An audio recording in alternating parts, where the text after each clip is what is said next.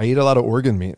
Yep, same, The organs are, you know, where the nutrients are. hundred percent. You know. I have a connect. Uh, I do grass fed local grass fed lamb Yes. organs. Yep. So lamb heart, lamb kidney, lamb liver is my favorite. That's all. I like it better than the beef.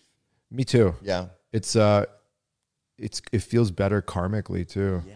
You notice that? Yeah. I- so it's your your my body processes it a lot better. Yeah, dude. Like when I eat that heart, when that when it's the lamb, it's just like, just pure. It just feels right. A hundred percent. Yeah. Yeah, I'm with you on that.